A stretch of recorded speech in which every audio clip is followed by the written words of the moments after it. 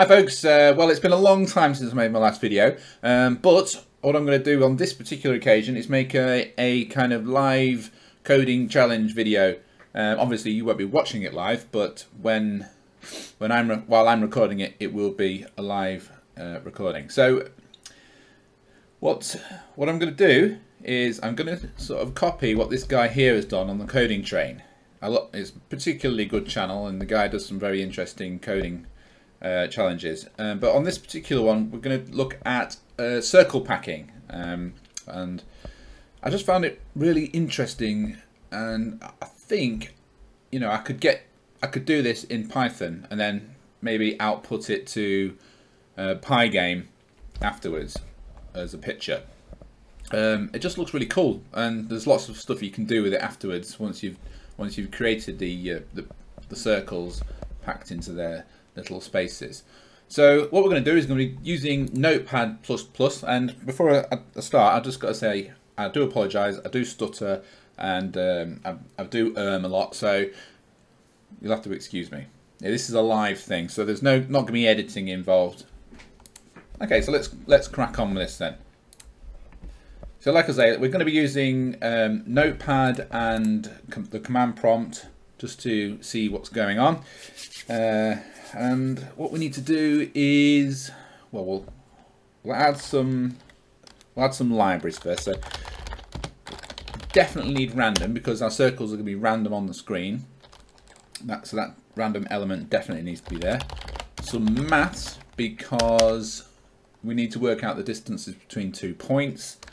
Uh, import the system library just in case we need to exit and obviously we need pygame to save the image once we've done it. Okay, so we need to choose the dimensions of our image. So the width and the height of our image will be, well, we'll, use high definition, so 1080.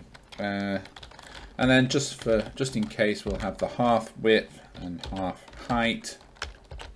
Oops, got caps lock on. Uh, width divided by 2, height divided by 2, don't think I'll be needing them, but just in case. And we need the area. Which we all know is width times height. No, don't auto-correct me. Okay, so every circle will will de define a class for. No, we won't define a class for every circle. We'll define a class for every circle. So here we go.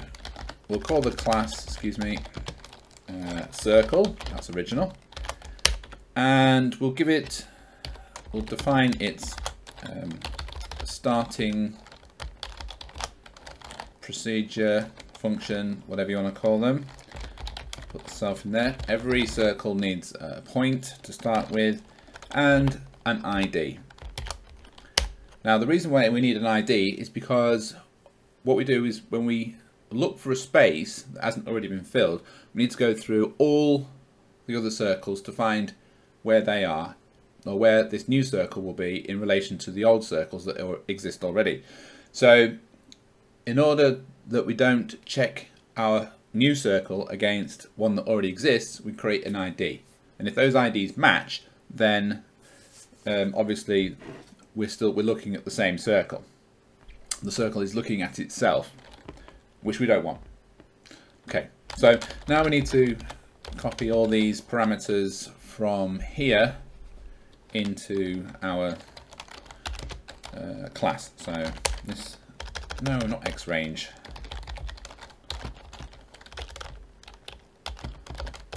Oh, oh, what are you doing? Stop it. Uh, self radius equals one. Always start with a radius of one and self ID equals ID. Now, what we use for the ID is basically the length of a list.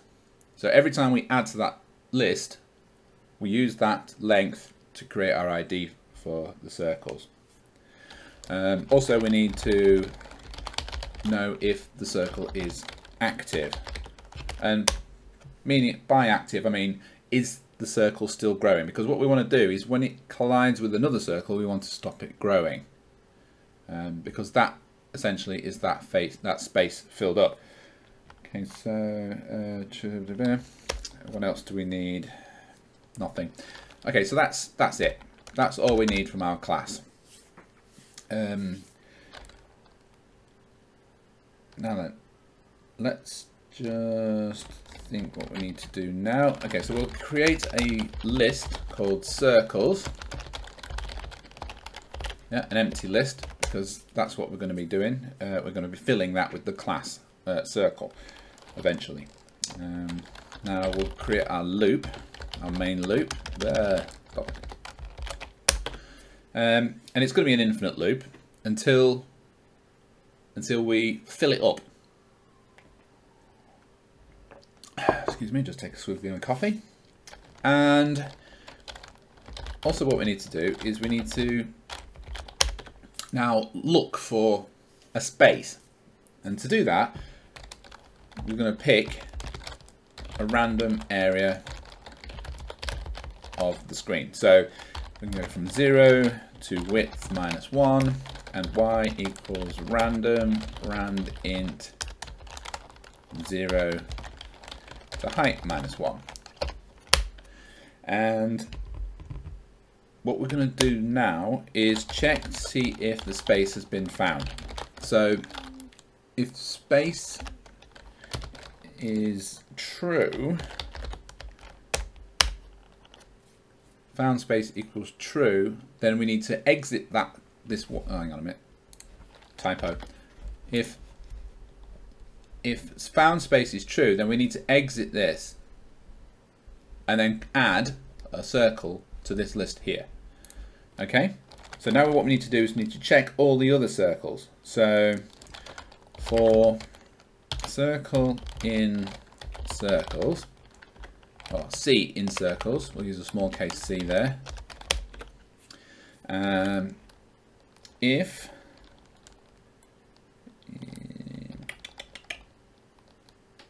distance no yeah. Distance equals um, math hypot uh, I'm not I'm not particularly good with maths um, but I do know what this does is it gives us the distance between two points now that is the circles that we're going, we're listing through, um, iterating through, sorry, and our newly created point. So, so it's uh, cx minus x, cy minus y. Okay, so that gives us the distance as a floating point. And now if distance is less than equal to c radius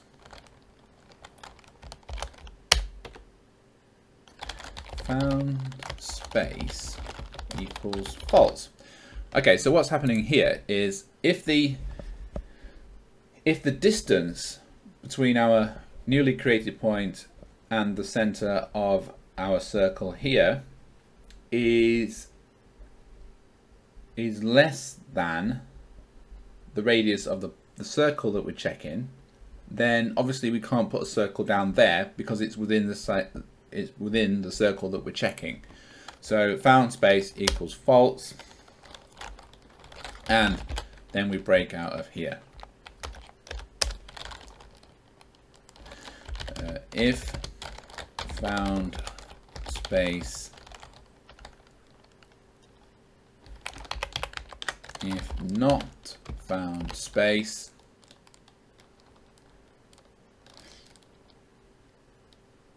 um,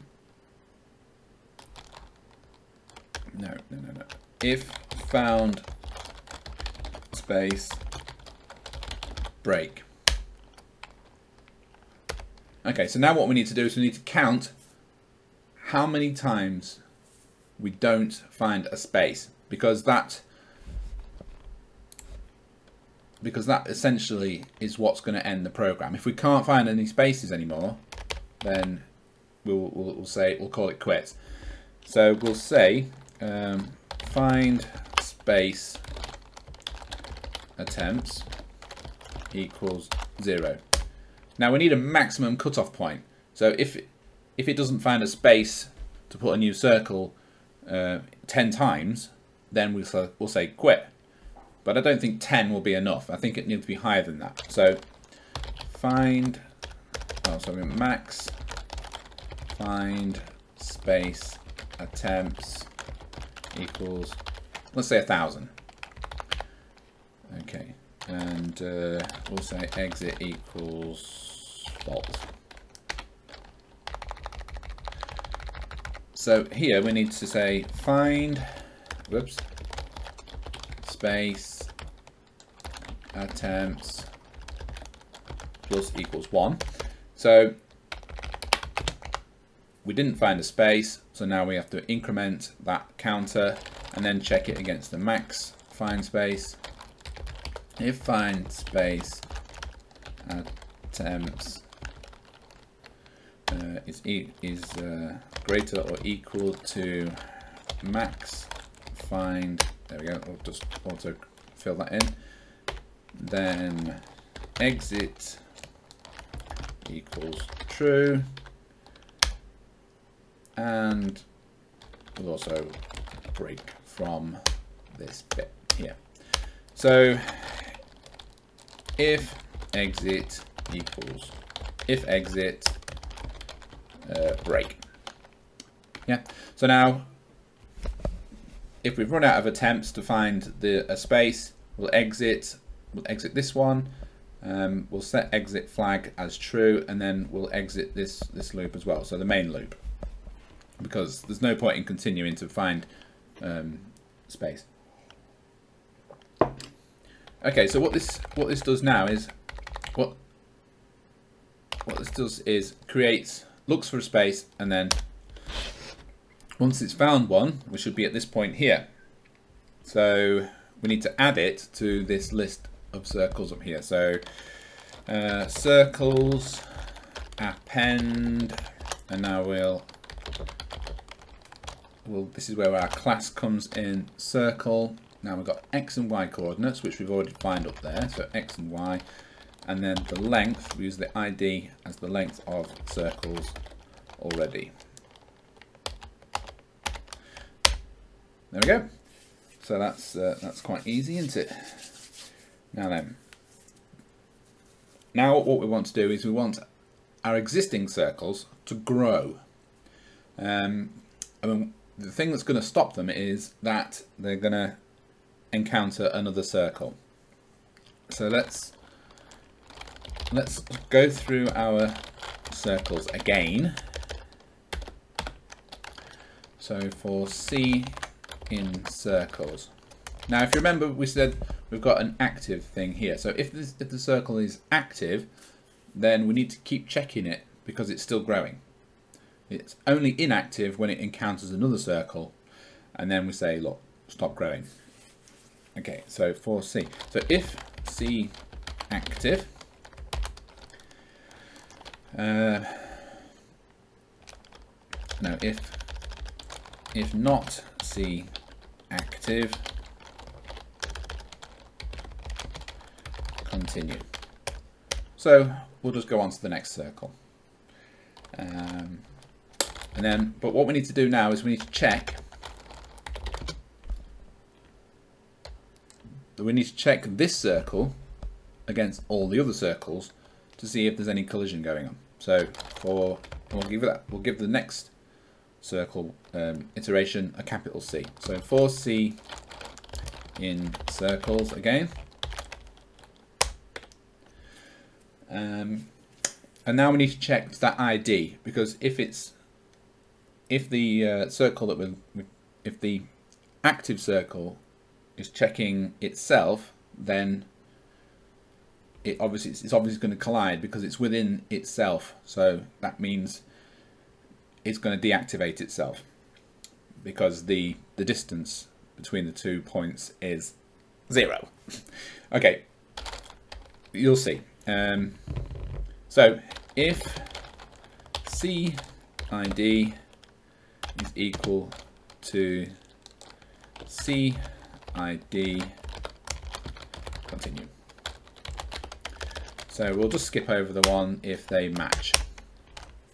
Okay, so now what we need to do is we need to check the distance between the two circles.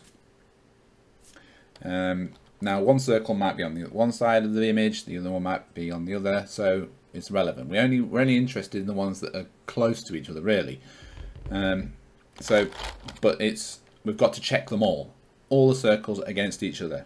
So circle, no, not circle, uh, distance between circles. Whoops. Equals, and we need that maths thing again. I'm just going to copy and paste it. It's easy.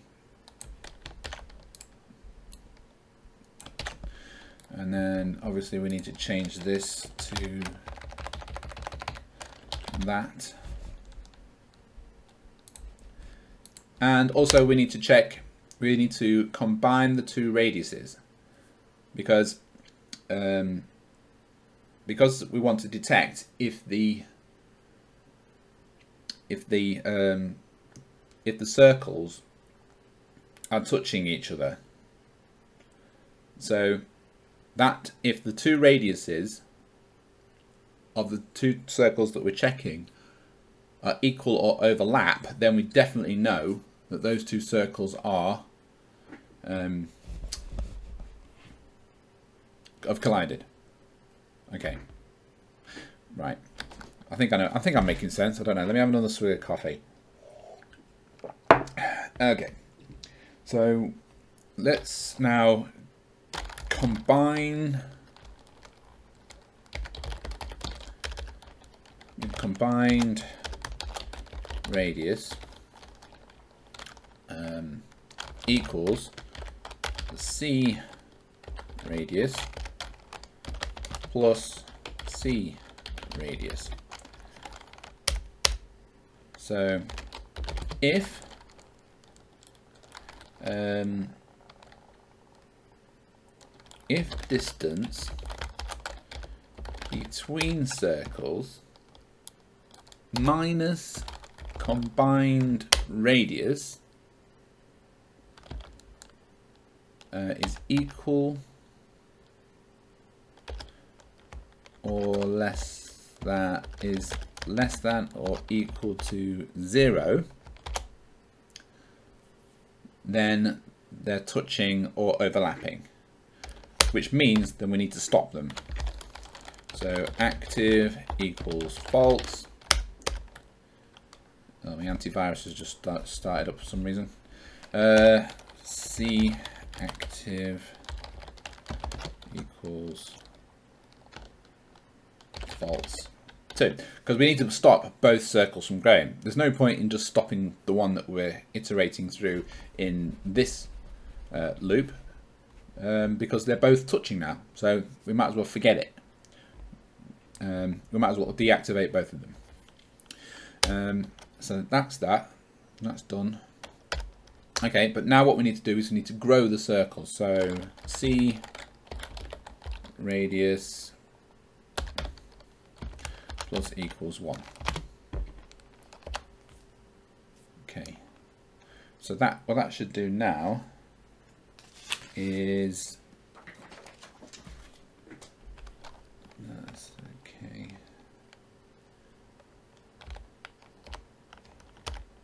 Yeah.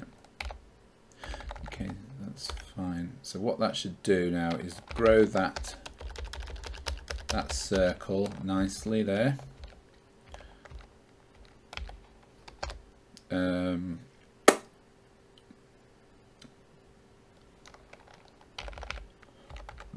we need to break from there? Do we need to break out of that loop? Yeah, we may as well. There's no point in staying in there, is there? Because it's inactive. Uh, and also, we don't need to increase the radius of the this circle if it's also been if it's not active. So if active C active plus 1. Okay, so what I think, I think that's pretty much it. Let's get let's run it and see what happens. Oh, I need to save it. Python circles circle. So we'll go into the command prompt and we'll circle py. Oh, it's running. Oh, it's done it. So no errors. Brilliant normally when I do something, it's absolutely covered in uh, syntax errors and God knows what else. So um, that's that's quite positive actually. um, but obviously we need to we need to see the output, don't we? There's no point in just seeing this. We need to see what it looks like. Okay. Well, cool. Um, let's have a look. So now we're going to use Pygame to output an image. So uh, if I can remember correctly, image equals Pygame surface. Uh, that's capital S into the surface. And then uh, width and height. We'll go through the circles again. Oh. No, we're fine. I just thought, I didn't think there was a way of getting out of this, that loop for a minute then. For C in circles, uh, pie Pygame, draw, circle, uh, what is it? That one first, then colour, we'll just, won't, won't define a colour, we'll just use that, and then the X and Y, so CX, CY, radius next, C radius, and we don't won't fill it. We'll just give it a radius of one. Yeah, and then we'll save it. Pi game image save circles png. Right, that should be it. Okay, save that and let's give it a run.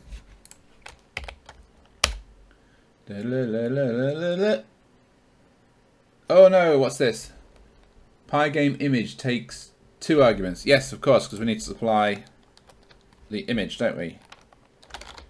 The image container. There we go. Um, I think we also should say print circles generated. Uh, print bleh, print saving file. Uh, we don't need exclamations every time we write something. Uh, and then print done.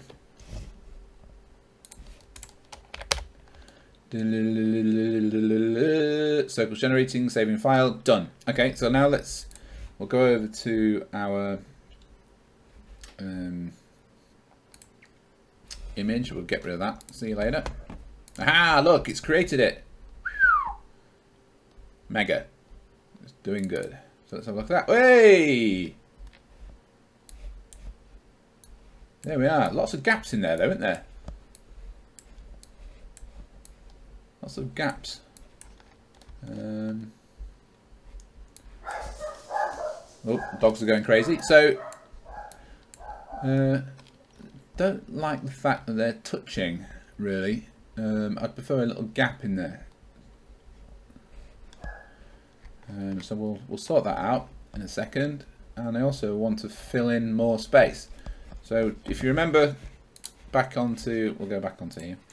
If you remember onto here, it's got uh, the max find space attempts equals a thousand. So every time it misses a, if it gets, if it, if it goes in, looks for a space inside a circle, then that's obviously a, miss because we can't create another circle inside a circle. So what we need to do is maybe sort of say 10,000 10,000 attempts to look for more space. So we'll save that. Obviously the more obviously the the more um, attempts you make, the longer it takes to process the circles. But I'm hoping it won't be too long. Um, well, it is taking quite a while. but, ah, it's done. Circles generated, saving file, done. Brilliant. I like it. Let's go back to the, let's go back to this and we'll have a look at that again. Wow, that's a lot better, isn't it? Let's click on and zoom in. Yeah, loads of, loads more space taken up there, but they're still touching, which is annoying. Don't like it. It just looks a bit, don't know, odd. So we'll go back to the code and we'll see if we can get rid of them gaps. Uh, we'll get add some gaps. So let's get back here. Um, let's well, come down to this one. So gap, gap in pixels um, equals what? Say three pixels. Um, now we need to find out. Obviously, when we're when we're looking for um, when we're looking for a space, we don't want to be in that gap either. So, so if distance is uh, less than equal to radius plus gap. So we've got an exclusion zone just outside of the circle as well which will which is uh, the three pixels. So you can't go inside a circle or that gap, that three pixel gap outside the circle either. Um, but also we need to stop the circles from growing if um, if they get if the radius the radius minus uh, the, the distance between the two circles minus the combined radius is less than the gap, then stop them as well. Okay, um, let's have a look, see if that works out. Generating, generating, generating, generating, generating, generating, generating, generating. Might as well have a sip of coffee. It's cold now. Ah, done. Circles generated, saving file, brilliant. Okay, so let's go back and have a look at the uh, what's it majig the image generated. Ah, look. Yes, every circle now has a gap. Those are a bit small, but never mind.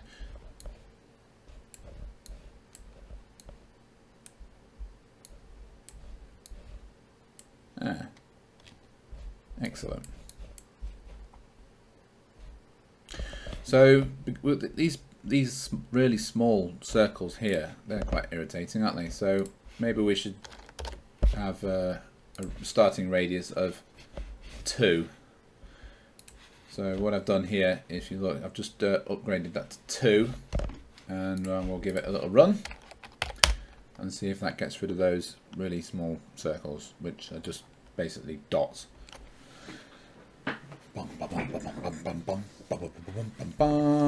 And it's done. Let's go back. Yay! It has. Good. Excellent. So now what we want to do is we'll give it the maximum. Well, we'll go 100,000. Let's see if we can really go for it. But we want to we want to also monitor our progress, don't we? So um, what we'll need to do is we'll need to find out we'll, we'll, how much area is left um, every time we stop a, circle from growing because that is then officially taken up that area of the, the image. So area covered equals zero. Um, we'll also have a percentage. There. Covered equals zero. We need it a floating point, I think. Area covered. That needs to be floating point. Actually, no, we don't need that. that. And uh, last reported percent equals zero. Okay. Um, now we'll make that minus one. Okay, so every time every time a, a circle becomes inact inactive, we need to report how much um, space is left in the image, or how much has been taken up rather. So, if I remember correctly, uh, area covered um, plus equals c radius squared plus math. No not plus but times isn't it? Times math pi. Okay. Now we need to get the percentage. So um, percentage covered equals uh, int uh, area area covered divided by area times 100 yep. And then if percentage covered if last reported percentage is not equal to percentage covered, print percentage covered last reported percentage equals percentage covered. Okay, so what we're doing here is we're saying, um, what we're doing here is looking how much of the image has been taken up by this uh, inactive circle. Then we're converting that to a percentage um, of the total, which is the total is area. Um, and then instead of just continually outputting a percentage to the uh, to the command prompt, we want to check it to see if it's changed, the percentage has changed from the last time we printed it. Um, and if it has changed then we make the last reported percentage the current percentage and then we start the whole process again. So let's give that a whirl. Now it usually stops around about 67% for some reason so we'll, we'll try that.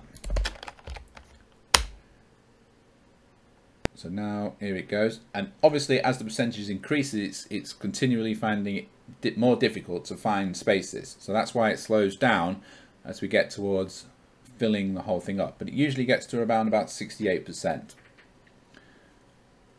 It gets to 68% and then, but it, it never kind of reaches 69% for some reason.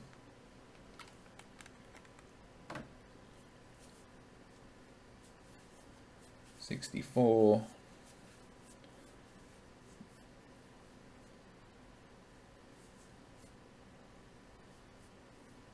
Nope, doesn't like it's going to get any further than 64.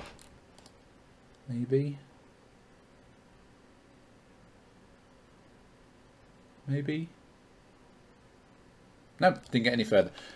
Alright, so we'll uh, we'll go over to here and check see what the video the thingy looks like, the image.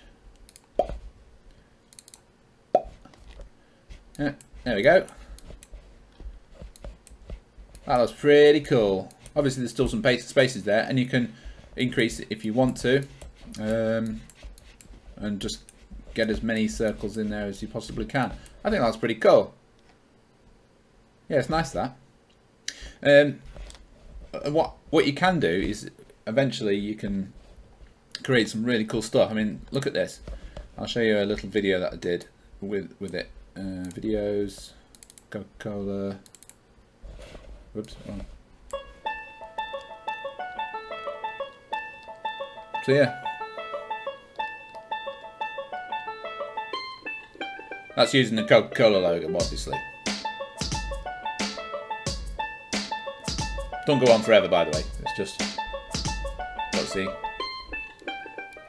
I just found the found the tune really quite funky. But it's interesting the way it sort of goes round like that in a circle and then but the, the, the logo doesn't. Anyway, that's that. Uh, well, that's kind of the end of this tutorial really. Um, I'm going to find somewhere to post this this script for you to have a look at and play around with. Um, but that's it. I hope you've enjoyed it and hopefully it won't be a year before I make my next video. But thanks for watching. See you again. Bye.